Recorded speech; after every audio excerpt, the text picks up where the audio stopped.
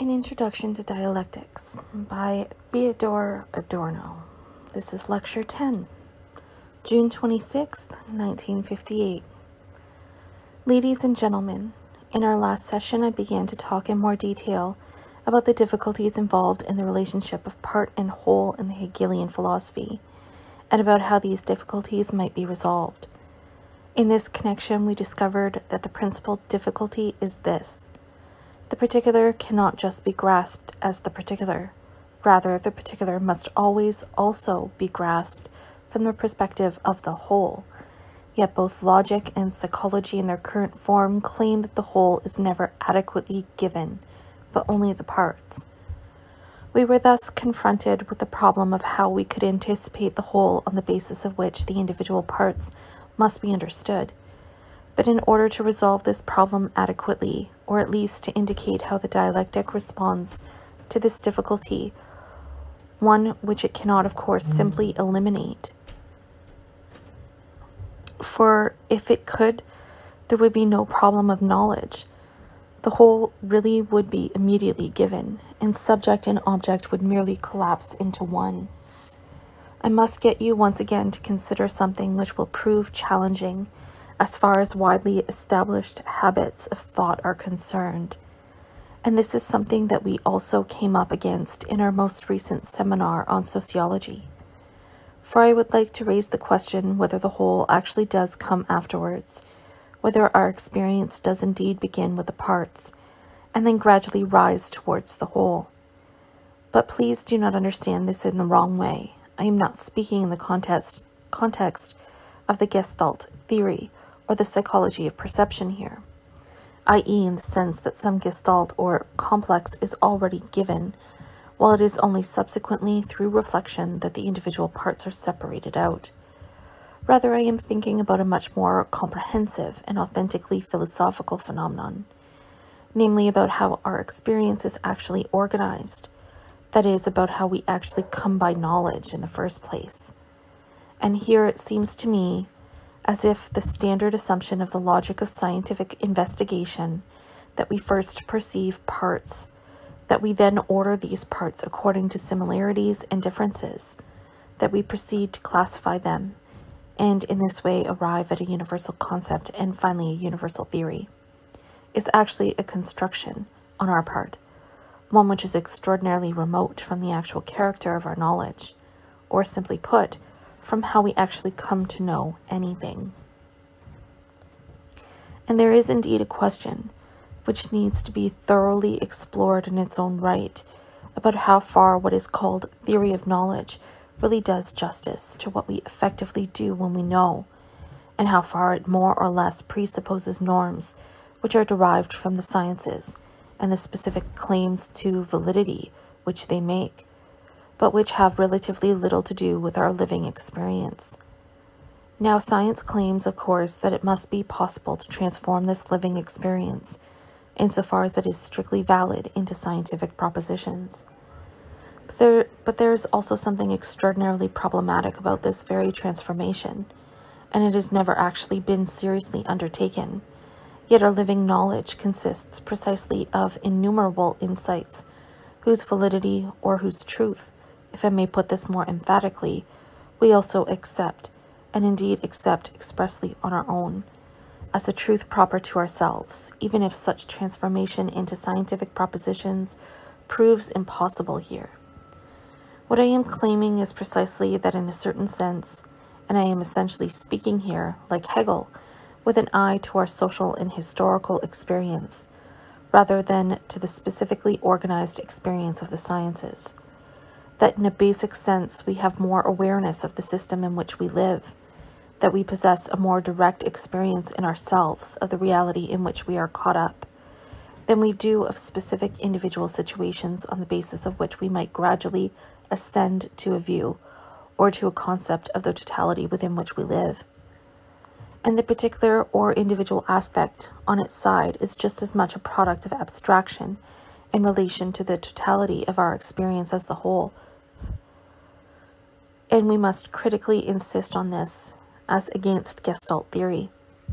is also in turn a product of abstraction in relation to the individual moments which it encompasses. There is no immediate unity between the two, since the relation in question is a process, and the order which is pursued by science turns things upside down insofar as it would persuade us that the hierarchical classifications it produces, advancing from particular observations to universal concepts, is actually identical with the character of reality itself. This latter thought was first authentically expressed in Spinoza's claim that the ordo idearum idem est ordo rerum, a proposition that seems to me to be idealist in a dogmatic sense, and which we may come back to later in connection with Descartes and the critique, which a, which a dialectical perspective must apply to the Cartesian method, which is itself the prototype of scientific method. I am more aware of what kind of world I live in than I am of supposedly individual data. Above all, the moment of oppressiveness, of unfreedom, what contemporary sociology describes with such a neutral expression as social role, namely the orientation of the individual to some particular function, all of these, you may say, relatively abstract things manifest themselves to consciousness in an incomparably stronger fashion than, let us say, specific situations such as parliamentary procedures, or the current business climate, or whatever other social situations we care to consider, the team situation, the family situation, and so on. of course, you may respond here by saying that, from the ontogenetic point of view, if you wish to speak in psychological terms, the paradigm for these relationships must generally be sought in the institution of the family. But even if you would really prefer to foreground the genetic aspect here over against the philosophical aspect, we should still have to say that even a little child does not presumably behave like a little investigator, rising from the experience of a concrete threat on the part of the father to the notion of more general threats. Rather, the child will first experience something like threat as such, namely anxiety, and the supposedly concrete aspect of the specific situation that father is angry will only gradually emerge from this. But it is surely the case if we leave aside these genetic moments and focus upon relations within a fully developed society that what is actually immediate here,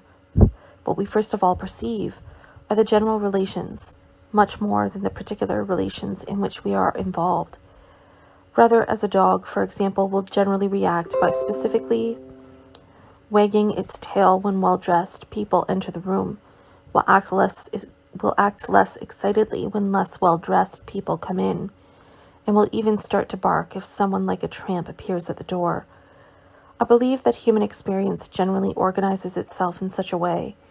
Indeed, in this regard, I am deeply convinced that the difference between the human being and the animal is not nearly as emphatic as idealist philosophy would have us believe in order to flatter our narcissism and encourage us to submit to the most unlimited moral demands. If this is so, if this is so, if in a certain rather tacit sense, in contrast to the organized approach of science, we actually become aware of the whole before we become aware of what is more specific, and if what we describe as specific experience is itself already a product of reflection, then we could find a formulation for the dialectical procedure one which also serves to reveal a particularly dangerous moment of dialectical thought, and specifically of Hegel's thought. For we could say that the task of dialectical thought is to restore the naivety, the kind of perception of the world that we enjoyed before we allowed ourselves to be stupefied by a wholly organized form of thinking. That the task of dialectic, therefore, is to overcome in and through reflection those moments of separation and objectification that have been posited by reflection. I have just suggested that this is a dangerous thought, and indeed, when I speak about this danger, it is precisely Hegel that I have in mind.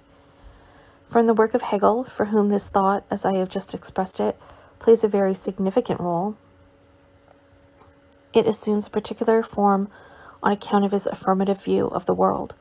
that is, of his belief that spirit effectively wins through, that spirit is absolute and ultimately the only substantial reality. Thus, by means of the dialectic, the naivety which is more or less prior to reflection,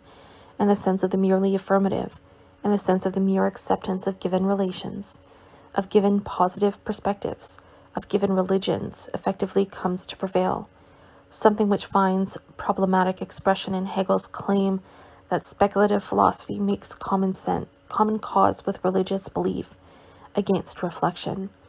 And this formulation can be found in these words in Hegel. But it is clear that if we renounce the fundamental conception of identity which prevails in Hegel, as I showed you in our last session, and replace it with the concept of an open or fractured dialectic, then that kind of demand falls away. But this is surely not the least significant of the motivations behind the dialectic. That thought, in reflecting upon itself, in becoming aware of itself, as a means of breaking up and dividing the content of experience, as a dominating moment of preformation, nonetheless attempts to dispel the guilt, or at least to prepare the way for this, which thought itself has actually produced. I have said that we first effectively become aware of certain pressure or oppressiveness, that we thereby become aware of the totality before we register more specific aspects, and that situations in this regard may be just as abstract as the whole. And you may well respond that this is merely a relatively vague and unarticulated form of experience, which should not simply be equated with the task of acquiring knowledge, that is, with a genuinely responsible claim to knowledge. I would, of course, admit the justice of this objection, and would claim that the specific significance which theory possesses for dialectical thought is to be found precisely here. That is to say, theory is really the attempt to explore that consciousness of the whole which is always already there beforehand, and the ensuing specific individual forms of givenness, which are themselves mediated in turn through the whole, and to do so in such a way that they may enter into a certain concordance with one another. And here I shall try to formulate the dialectic for you as a kind of program, a kind of suggestion which you may, God willing, attempt to try out for yourselves if you wish to think dialectically. Thus, on the one hand, dialectical thought must always try and measure up the data with which it is concerned against theory. That is, it must not simply and naively accept them as they initially give themselves out to be, but rather attempt to render them transparent with respect to the whole, which is mediated through theory. On the other hand, dialectical thought must equally keep theory open to those specific experiences by which it is nourished and sustained, and in this regard must equally avoid becoming something merely rigid and definitive. When I try here to elucidate the significance of the whole, or that moment which goes beyond the organized, causal, mechanical, and classificatory conception of knowledge, there are two things which need to be said. Firstly, that we are dealing with a dialectical moment, and once again, I am here translating an important and extremely involved motive of Hegel's, or motif in, of Hegel's, in terms of the simple processes of our own activity of knowing, which is precisely only a moment. It is not the whole, therefore, and you should not imagine that knowledge in its entirety consists of such theoretical anticipations, consists of mere theory. If it did consist in this, it would in principle be that which it may always become,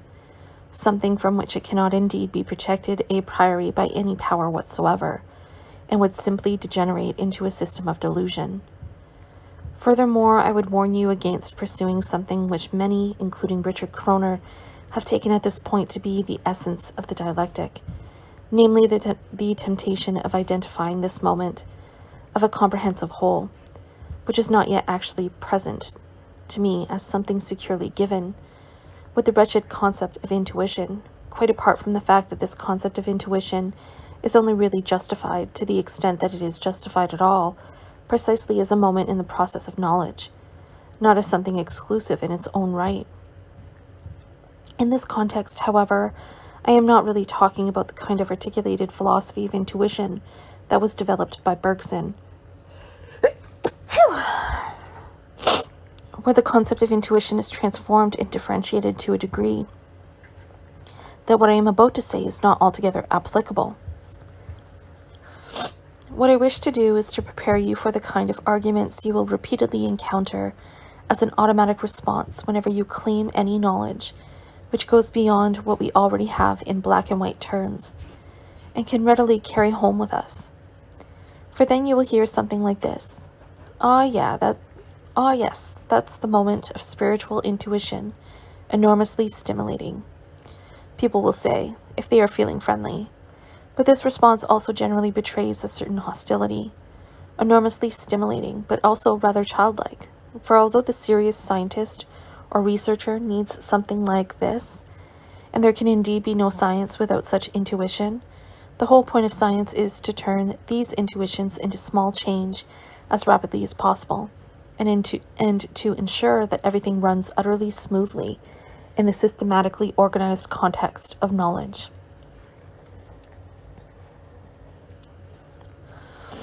But I do believe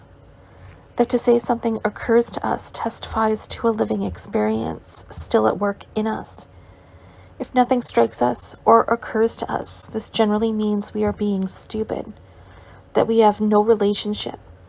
to the objects of our experience, and what is called a merely logical intelligence, one which does not involve that aspect of unanticipated insight, is a form of intelligence which simply turns upon itself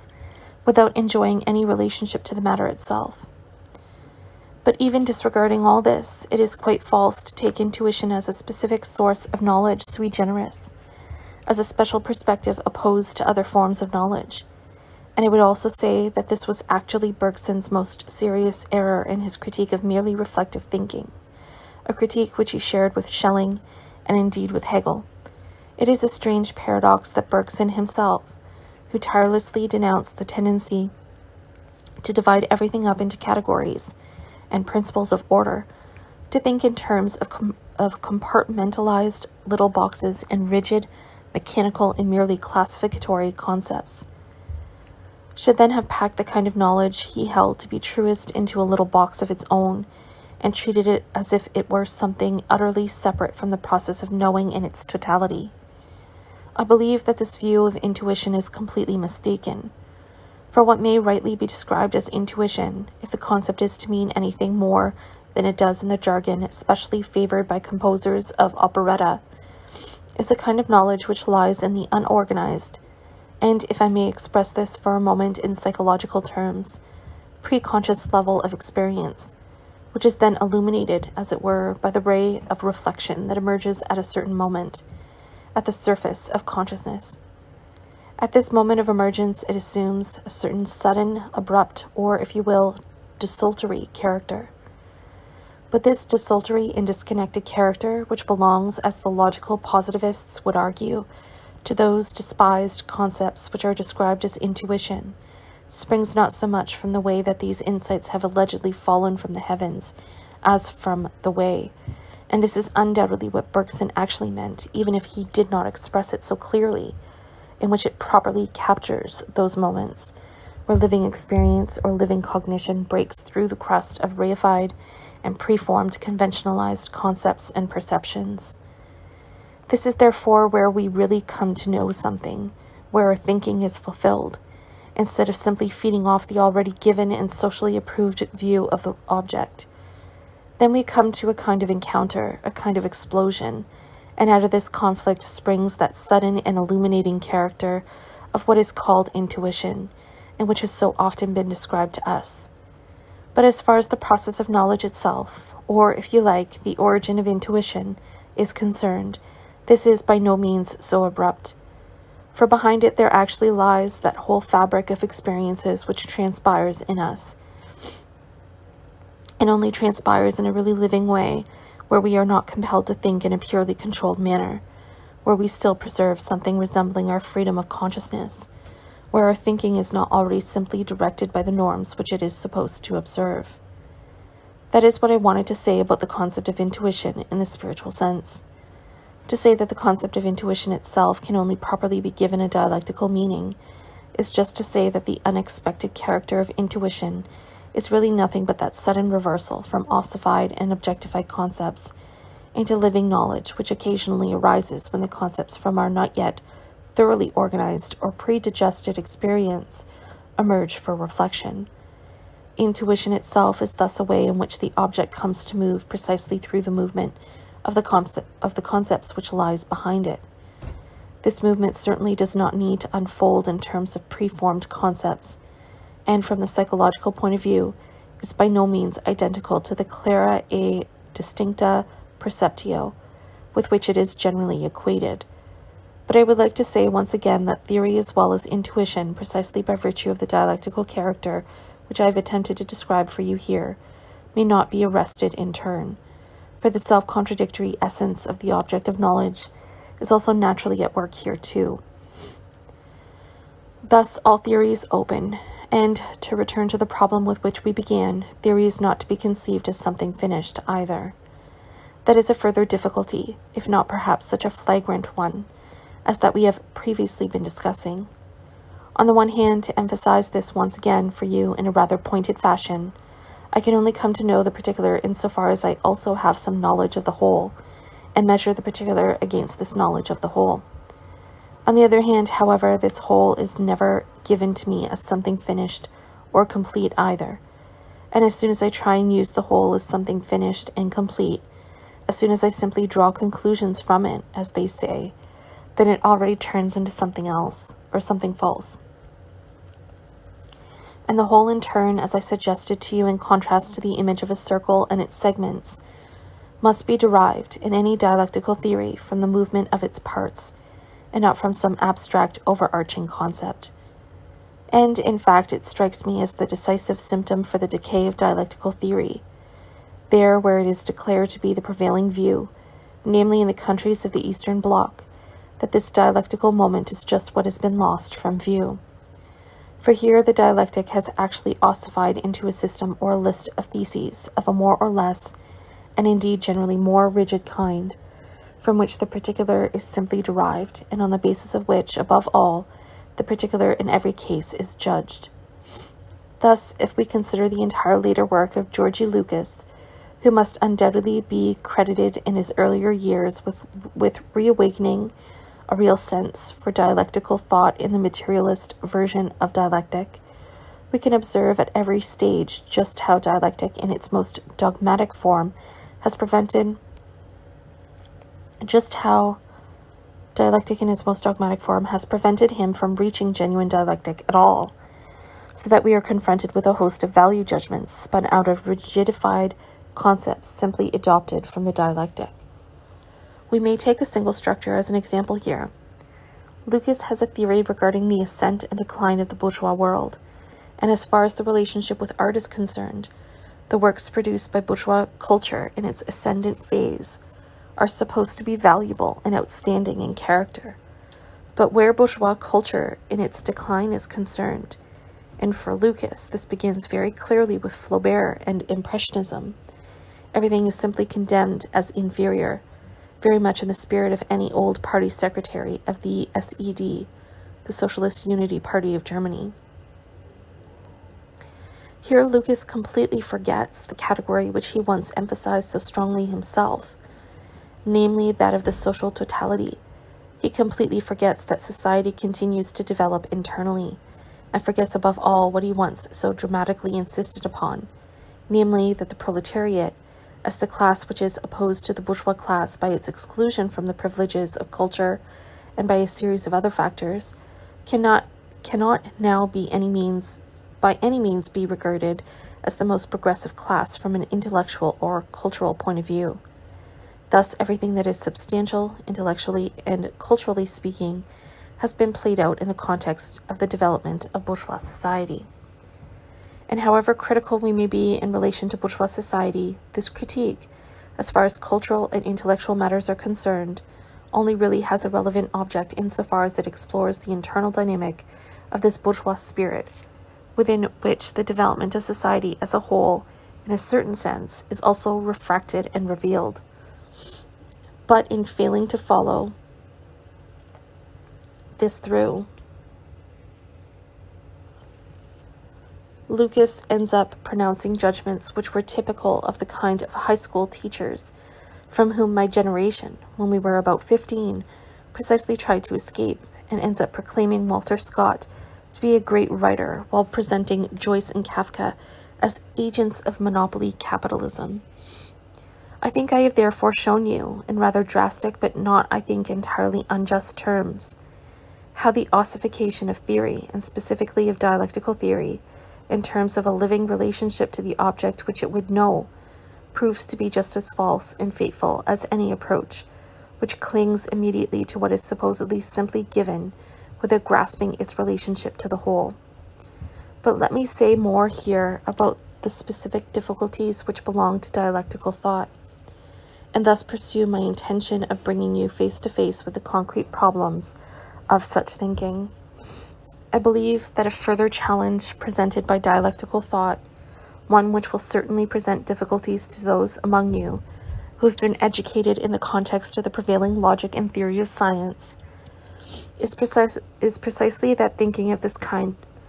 does not proceed step by step, unlike the thinking for which the natural sciences provide the classical model, and which we typically encounter in traditional and practically oriented science. Thus, grotesque, grotesque as it may seem, it is precisely dialectical thought, where the various moments are much more intimately connected with one another than they are in the traditional form of thought, which is constantly reproached for being unscientific, in the sense that it lacks the requisite systematic character. What underlies this objection is the fact that there is no absolutely first principle for dialectical theory. One could rather say, and this is a critical issue, that Hegel's theory acknowledges an absolutely last principle from which everything flows, namely the fully developed totality, the fully developed system. But it is certainly true that dialectic knows no first, to which everything else would have to be would have to be reduced. And thus the dialectic also lacks that pathos of reduction reduction for which truth, as I once put it, is a merely differential determination, or rather a merely residual determination. What is left over once we have deducted all the costs incurred in the process of cognition.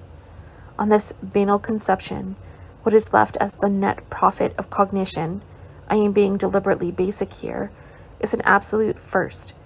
purified of every contribution of merely subjective conceptual labor and conceptual artifice. Hegel has shown us that an origin is not the truth, that an origin, on the contrary, becomes a deception the moment it is taken as the truth. It is a deception because it is not an origin at all, and everything that claims to be an absolute first is already mediated within itself. But this already challenges a view which all of you, and I myself, have absorbed with our mother's milk, as it were, quite irrespective of whether we encountered it in a specifically philosophical form or not. I am talking about the Cartesian doctrine of the clara e distincta perceptio, the view that individual absolutely clear and distinct and mutually independent cognitions constitute the foundations of our knowledge, and that only what can be reduced to such moments can properly count as knowledge. In a German context, due to the influence of Hegelian and idealist philosophy generally, this idea has never become as prevalent as it has everywhere else. And sometimes, indeed, one might regret that this conception as a moment of truth has not been more strongly represented, for it is really only through a critique of this idea, and only once we have properly appreciated what the clara e distincta perceptio is, that one can actually make the transition to dialectic in its full significance. Sometimes I have the rather uncomfortable feeling that you are following my dialectical reflections all too readily, because the resistance which arises at this point in the whole of the civilized Western world and rests precisely upon a certain Cartesian outlook, does not in Germany exert anything like the like the traditional power that it enjoys here, enjoys there. And in this respect, I would like to say that one can almost arrive at dialectic too easily, and that is probably none too beneficial for the cause of dialectic. Anyway, with regard to clara e distincta perceptio, we must object that there is no such ultimate and absolute instance of givenness purified of any mediation, whether it be pure consciousness or some pure sensuous datum. The proof of this forms the very content of the phenomenology of spirit, and I wish to introduce this basic thought of the phenomenology into our general presentation of the dialectic here. I hope I shall find time to sketch enough of the overall argument of the phenomenology for you to see how this fundamental motive or motif is developed and elaborated there. Wherever thought believes it has now reached an absolute point of rest, this absolute point of rest is once again dissolved until this quest for something absolutely reliable, something that no longer moves within itself, finally reveals itself as a delusive image of knowledge. Truth, as we learn in the course of the dialectic, is by no means something given and is not something fixed, as Hegel puts it. Rather, truth itself is involved in a process, and the object we find before us is itself caught up in movement. And inasmuch as the object is in movement, it is not a distinct or unambiguous object.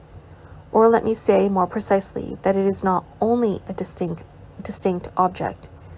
That is to say, we also require certain distinctness and determinacy in the object, and here the Cartesian moment asserts its rights. We also require insight into specificity,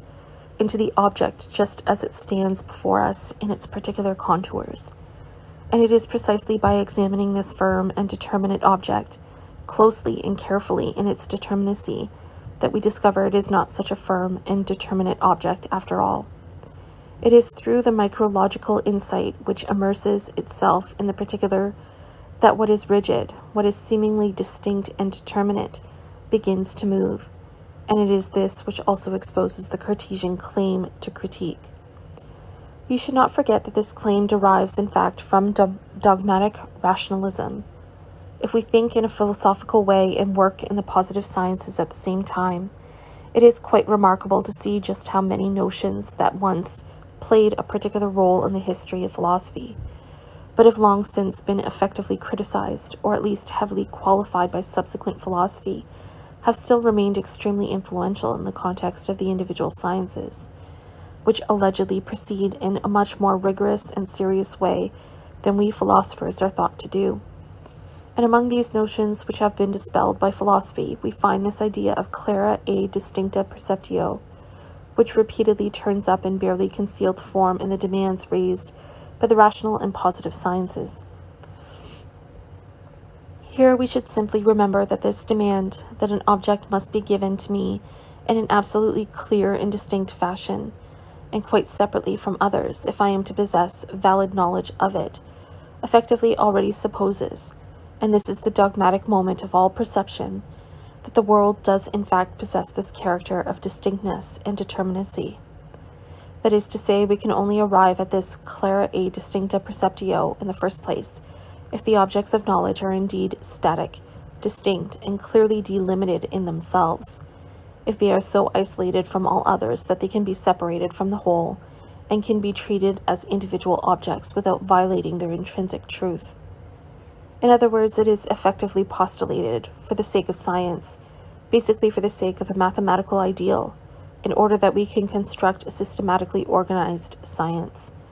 that the objects of my knowledge are already such that they present themselves to me adequately under these categories. Now, this is not only a dogmatic claim, for we do not know whether the world is actually organized in this way, but critical reflection on the question of knowledge, and especially Hegel's examination of this question, has shown in detail that this character of objects, which must indeed be assumed if we are to perceive objects clare et distincte, does not exist in this way at all. For objects are dynamic and contradictory in themselves, and precisely by virtue of this contradictory character, are actually bound up with all other objects as well.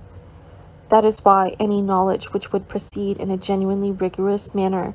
which does not simply reserve philosophy for the Sunday sermon, while operating with healthy common sense throughout the working day, will not attempt to salvage the demand for clara e distincta perceptio.